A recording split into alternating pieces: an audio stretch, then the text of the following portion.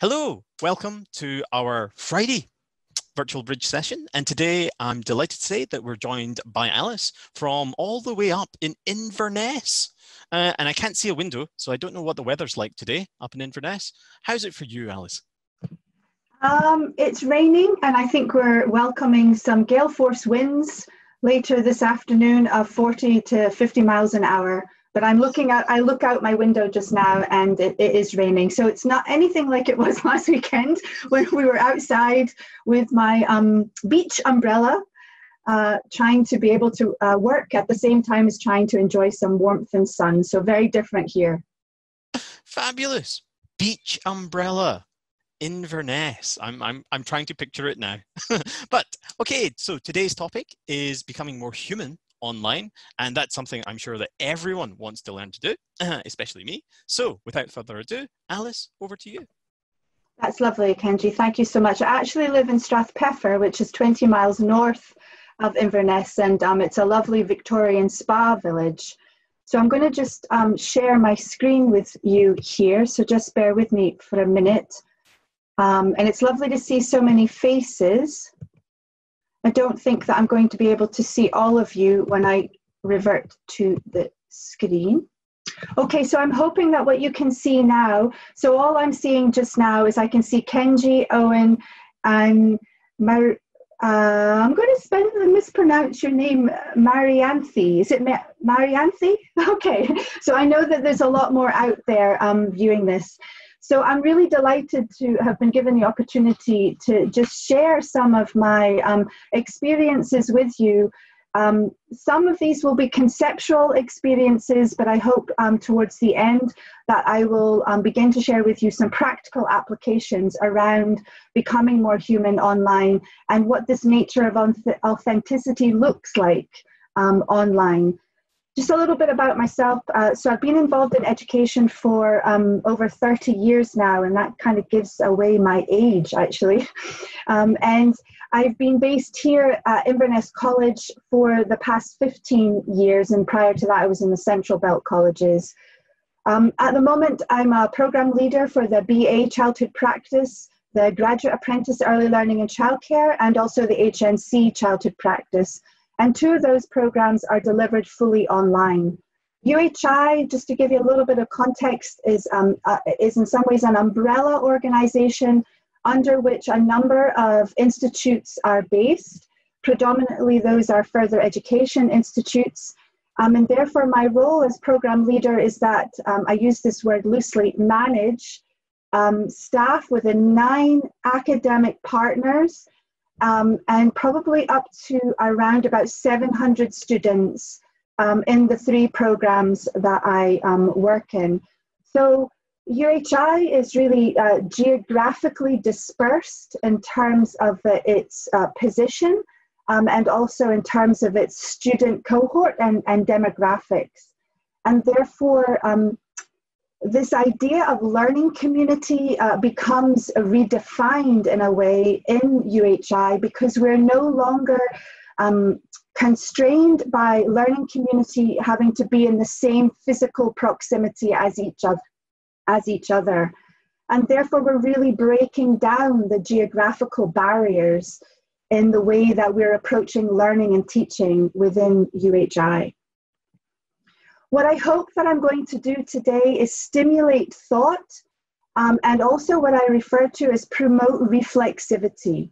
So often we use the term reflective practitioner or reflective professional, but I would prefer to start thinking of this in terms of reflexivity, because reflexivity means that as well as looking out and looking at our practice, we're also looking within and we're starting to reflect, um, reflexive on who we are and how who we are as individuals has an impact on our role as an online educator. You may not agree with everything that I'm going to share with you today, and that's absolutely fine. Sometimes I like being that devil's advocate and actually getting you to think and ponder and maybe raise more questions than there are necessarily answers. And again, that's what about ref- being reflexive is. And to give you an overall idea, what I'm hoping that you'll get from the presentation today is that I'm helping you to shift the discourse away from technology, away from the flicks and tricks that technology offers, and actually start to look at the online space as a space for learning and teaching, and that the technology is not our master, but rather offers the tools and the platform in which learning and teaching takes place. And that sometimes what is required in terms of becoming more human and this idea of authenticity online is a change of mindset rather than uh, an entirely new set of skills. So I hope that that starts to come across in my presentation that I'm trying to shift the lens and the discourse, the dialogue, the discussion away from the technology. And we're looking more at a pedagogical approach and how focusing on the pedagogical approach online just offers an alternative perspective. So what I'd like to start with first, and this is I, this is really conceptually getting you to think about, is I've created this concept what I refer what I refer to as positionality. Now, positionality will be something that you can read in the literature. It's not me that's totally created this phrase or this concept, but I think positionality really helps us when we're starting to consider the design of the online space. Our positionality is where we, as educators, position ourselves in relation to our expectations and our aim and objectives about what education means. What is it that we're trying to do, and where do we position ourselves in relation to that? And it influences how we therefore engage with and use the online space, this idea of positionality. Our positionality is influenced by our biography, our life, our education that we've had, our lived experiences. So, this is an internal factors that affect our positionality. But it's also affected by the subject area that you're teaching, our institutional expectations, our learners, our quality assurance um, expectations, um, the expectations that we have for ourselves, and that this can create tensions within us in terms of what we value and where we position ourselves as online educators and what externally is expected of us in terms of meeting KPIs, meeting expectations in terms of students passing, and this causes tension, tension within us. But by reflecting on our positionality and where you place yourself as an online educator offers a framework for us, which we then take with us into the online space. And it, it shows or sheds light on how we use that space in relation to where we position ourselves. So, just to take this concept of positionality a little bit further. So, I'm being kind of very um, either end of the spectrum here in terms of positionality. When we start looking at education, whether it's online or face to face, I'm proposing that we can, at either end of the spectrum, in terms of our positionality, view education as an art form or as a science. Now, you may not agree with this.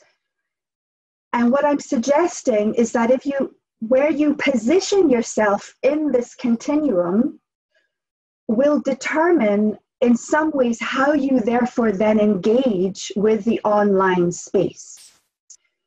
So, in terms of our art positionality, this is where your position in terms of your role as an educator is that you're driven by viewing education as um, an emancipatory, transformative experience for your learners.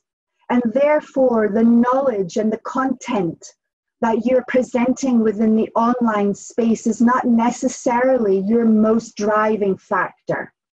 It's what's going on in that space in terms of the interactions.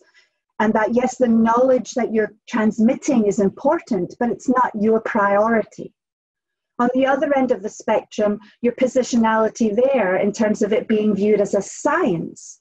And therefore, you would be more um, upholding of a transmission model of education.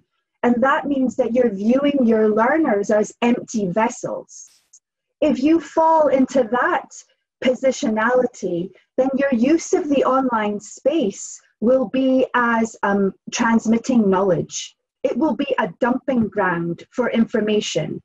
And, the, and you're not focusing necessarily on this online space in terms of a humanity, interaction, relationships. It's just my learners are empty vessels, and my role as an educationalist is to fill them.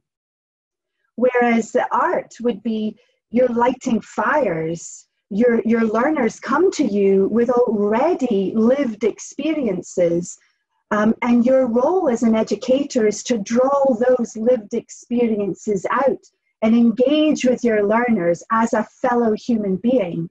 And we're doing that in the online space. So the online space no longer becomes a dumping ground of knowledge. And this quote that I've shared with you is just something that really resonates with me. And there's this idea that as an educationalist, I speak more to my learners with my soul. Dirkx, John Dirkx speaks very much about the soulfulness of education and that we need to return the soul to education. And I'm looking at how we can do that online. That's the dialogue and the discourses that I'm engaged in. And the quotes that I've shared from you there are actually from staff. This was from a piece of research that I did with um, some staff members within my um, institute. So I just need to be really wary of my time, Kenji, or I just will, right, okay, I'm 20 minutes. I, it, I didn't start at 11, did I? So we know, it's all right. okay, so I'm now following forward in this idea of positionality, and we're now turning our mind and our gaze to the online space here. So I'm, what I'm drawing out here is you'll see that what I've called here this concept of the iceberg effect. Now that's a concept that we are very familiar with. This idea that what's under the surface is perhaps more meaningful and more significant than what we view above. so when we're starting to think about how we're designing the online sp- space or the online curriculum, if you come at this from a position of science um, and transmission model, the knowledge is your is your priority because your role is to transmit that knowledge. But that to me is not the most significant aspect in learning and teaching. So I use this iceberg effect to try to um, present an idea that the foundation of learning online is around affect which is your emotional and social um, dimensions, and dialogue, which is your interacting with your learners, them interacting with each other, them interacting with the resources. And therefore, when you're considering the designing of your online spaces, yes, the knowledge and the content is important, but what you're doing in terms of wrapping around that content is often um, seen to be more significant. These three features have been taken from one of my colleagues' doctoral pieces of research that she finished a couple of years ago, and uh, Helen Coker. She's now moved on to Queen Margaret's in Edinburgh, but she was working with me in Inverness College at the time. And she was just a wee bit behind me in terms of her doctoral research.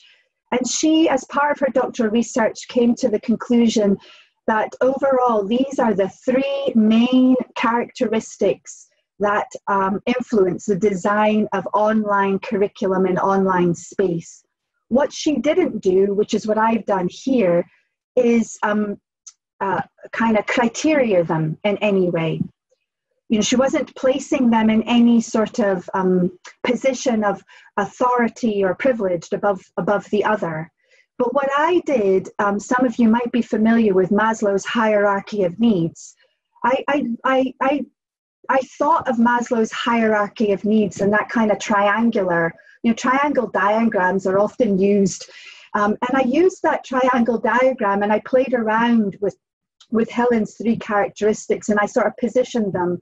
Now you can invert the diagram, But I then came upon this idea of the iceberg effect because for me, the affect and the dialogue are far more significant than the, the knowledge that you're transmitting in the space. But this is all again around your positionality. So when you look at this diagram or you look at these three features, where you position yourself in relation to your role as an online educator will determine how you therefore um, consider these three characteristics. I forgot to say at the beginning, I am more than happy for anybody to jump in or add a comment, or we can, you know, speak more about it at the end. so what I'd like to move on to here, having got you to consider this idea of positionality, this idea of um, um, this iceberg effect, is I want to share with you some of my own um, research findings around the ways in which students use the online space. Now, I know there's a lot of information here, so I'm sorry, this is quite a busy slide. what, what I'm sharing with you here are the students' voices. These are um, what students um, shared with me in terms of their experience of the online space that they were in. So these were students that formed part of my BA Childhood Practice degree program, um, and they were also my research participants as part of my doctoral research. Uh, and I was very interested in trying to explore whether the online space had the um, ability to foster uh, transformative learning for the students that I was working with. And so I was interested in hearing them share with me their experiences of the spaces that I had created for them online. Now, what I've not done is really given away what my positionality is, but I would assume from the title of the presentation that I'm giving that you would know that I fall wholeheartedly on the emancipatory, transformative, and that my vision is that education is an art form. And my role is to interact with my learners as fellow human beings with the respect, compassion, care, and love that goes along with that. So the spaces that I'm creating online are warm and friendly and trusting. And I hope that what you can see here is these are the students reflecting back to me what I would hope the spaces allow them to experience. They felt that the online space was a level playing field for them, that it broke down any barriers related to what Bourdieu refers to as social and cultural capital, and that they were able to um, feel as if they were on the same level as me in terms of who they were as individuals because the power dynamics were altered. I was no longer the sage on the stage, I was the guide on the side, helping them to become who they wanted to be.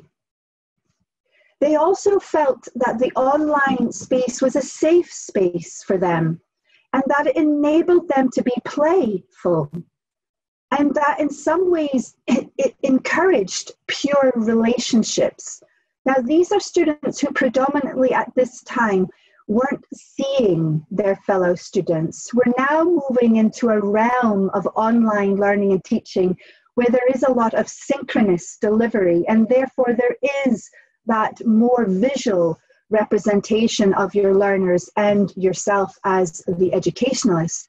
So, this doctoral research that I did was a number of years, well, not, not I'm trying to figure it, six years ago.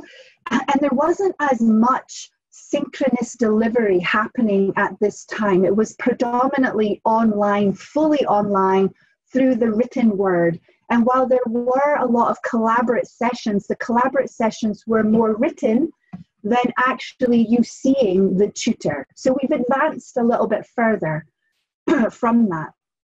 And that these learners shared with me that the online space allowed them to play with their identity and become somebody that they never thought they had the potential to be. And it really showed ways in which the online space had the capacity to transform their lives. to be more than they were when they, they started the journey with us. This fish and water is a, is a concept that was coined by Bourdieu.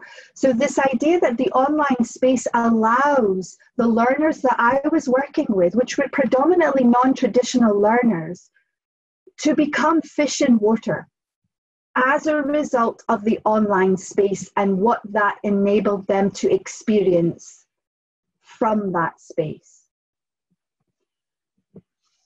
What I'd like to share with you here is I'm now turning my attention to the educationalists. So we've looked at our positionality, we've started to look a little bit this idea of this iceberg effect. I've shared a little bit there with you in terms of the students' experiences in the online space. And now um, what I'm sharing with you here is a more recent piece of research that I did because having looked at the students' view of the space, I wanted to be able to gather my fellow colleagues' perspectives of the space and how were they using the online space and where did they position themselves in this space. What I didn't speak about when I shared with you the science and art um, positionality slide is I didn't say a little bit about what I discovered in relation to the colleagues that I work with, um, what I would define as a, a way of being or a need to be what came out when I researched my colleagues is that when you started to unpick the answers to the questions that they were giving to me, it came across in their words. Now, remember, this was a co construction of analysis process that I was going through. So I'm I was applying my own interpretation through their words. but what came across is that for some colleagues working online, they lived and breathed this way of being, this emancipatory model, this real idea that they were driven to create a space online which enabled their learners to transform. When I say this idea of way of being, it was like they were just born, it was innate, it was like they lived and breathed it. Now, I compared that to some of the words and the responses, and I referred to this as a need to be.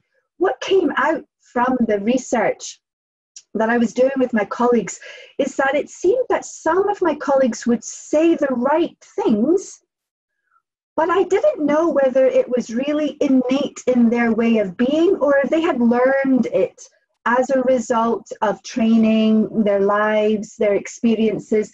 And that became, uh, I then became to question this idea of authenticity and can we ever and you may disagree with me here because I have lots of heated conversations about this.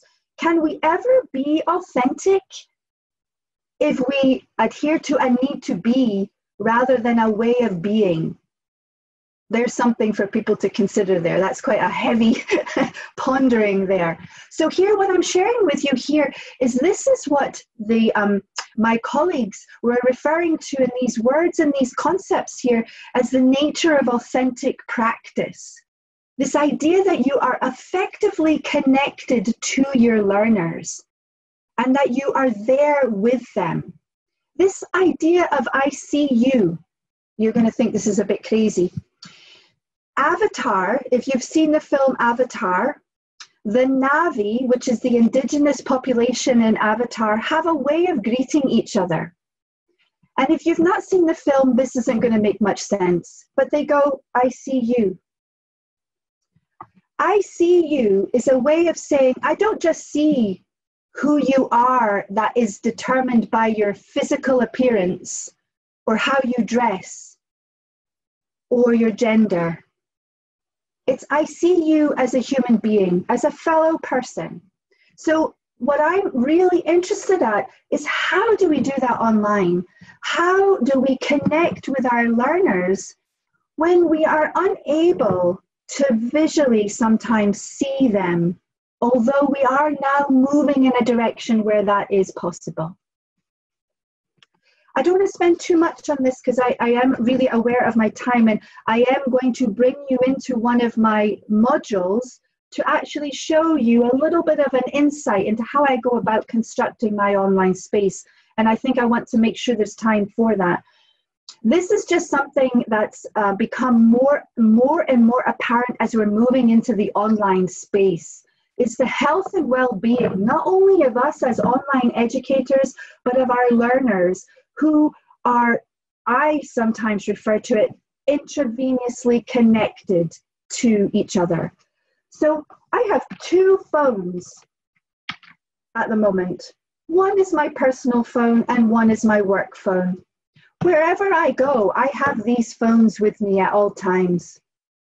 They bing, they go off, and what am I driven to do? Look at them. And what else am I driven to do? Respond. It can be a Saturday, and if I happen to be passing and it buzzes, or it's connected to my watch, what am I driven to do? Look. And then what am I driven to do? Respond. And therefore, there's a whole blurring of our boundaries in relation to the online learning and teaching because we never, sh- we never shut off. So our personal and professional boundaries are really blurred. So the one thing that I would say in terms of my own experiences, and listen, I am not very good at managing those blurrings in any way whatsoever because of my positionality. I absolutely want to be there for my learners. And therefore, when they communicate with me, whether that's a text, an email, what am I driven to do? Respond. Because in my world of online learning and teaching, they're speaking to me. They're speaking to me, and suddenly, email, which is an asynchronous form of communication, becomes synchronous because I'm absolutely driven to want to respond to them.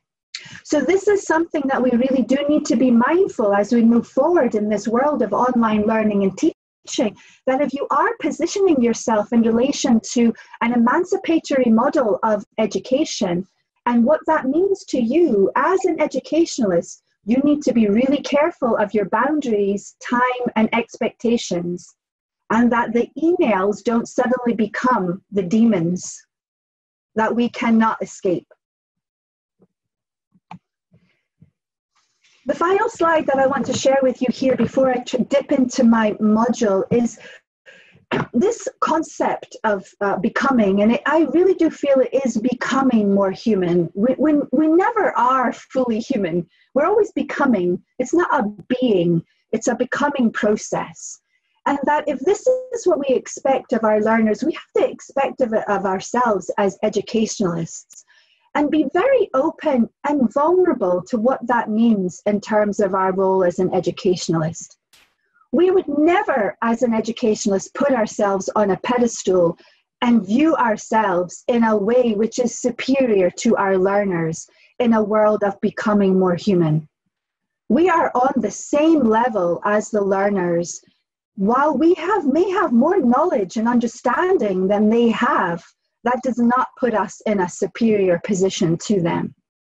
And this idea of love led practice, what I've not shared with you is that my initial dipping toe into educational, uh, the educational world 30, over 30 years ago was as an early years practitioner.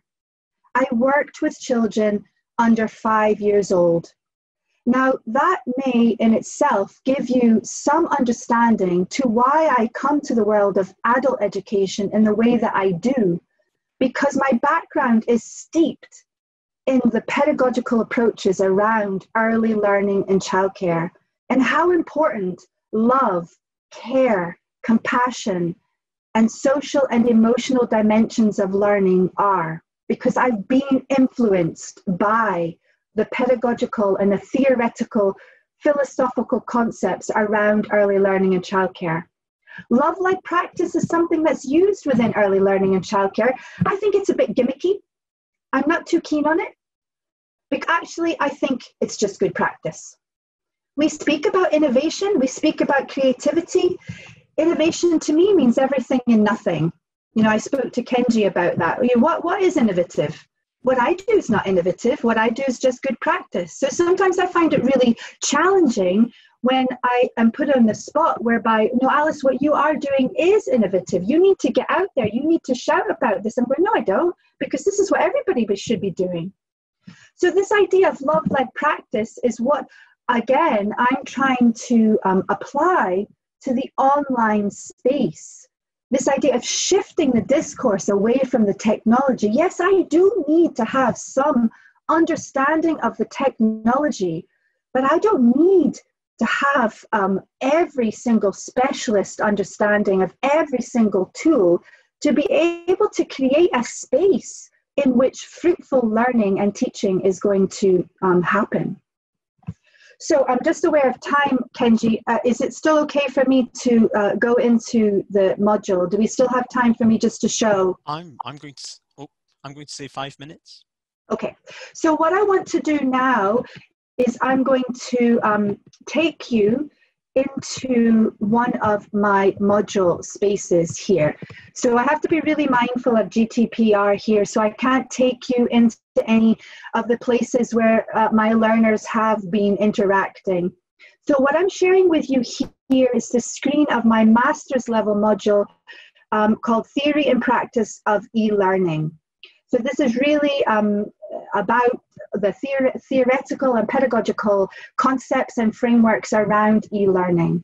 What you'll see here is that you'll see the images um, for the different tiles. We use uh, Brightspace within our, uh, as our virtual learning platform and, and we have certain images for the different areas that the students go in. You'll see here that I do a welcoming video.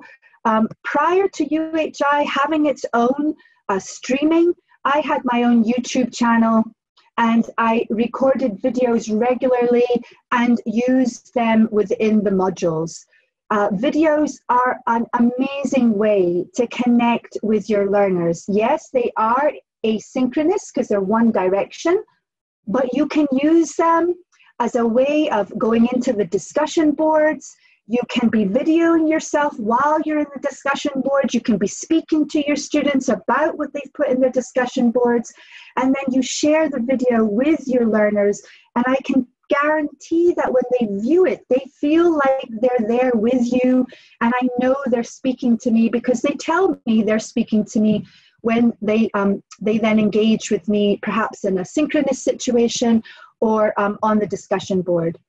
The other thing that's really important um, is I use my announcements regularly within the, the space, and I'll just share you share some of those with you. You will see when we go in how how much I do speak to my students. So this module's finished. Look how many announcements are going on in my module.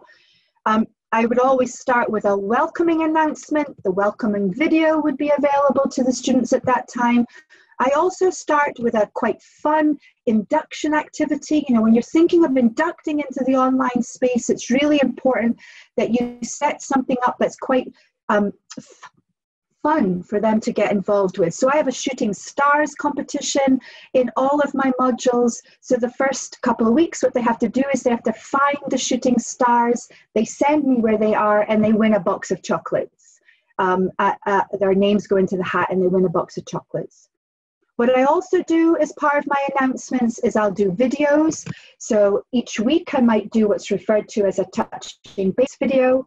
And again, it's me speaking to them and telling them what's going to happen in the module this week. At the end of each week, I might also do what's referred to as a roundup video. So this is an idea of what I'm saying to you. So there's knowledge that I'm transmitting in this module, but what I'm doing is I'm wrapping around that more transmitting of knowledge with interaction and humanness and showing the students my sense of vulnerability and who I am so they then can connect with me. You can do quirky things like have funny things in the background as you're doing your videos. One of my colleagues has a different pair of shoes every time she does a video, and the students then will have to try to guess what kind of shoes that you're wearing. This is just little things that you can do. You can record a video while you're out walking your dogs. This week, we're going to do such and such. I'm out for a walk. I was at a conference in New York a couple of years ago and I did a video of me walking around Central Park, chatting away to them. Here I am, I'm in New York and I'm still connecting with you. Um, and look where I am and look what I'm sharing with you. So, this idea of not you need to think about giving a bit away of who you are as an individual, and that then allows your learners to connect more with you. So the online space is not cold. The online space is not a stark environment because you can fill it with lots of humanity in relation to who you are and what you do within that space. Kenji, I don't know whether that kind of comes to a natural end. well, for un- unfortunately, for for those watching the recording, it does come to a natural end. Um, and I, I imagine that they are wishing that they were here with us so that we'd have an opportunity to discuss this further because I'm sure there are tons of questions here from the audience that are with us today.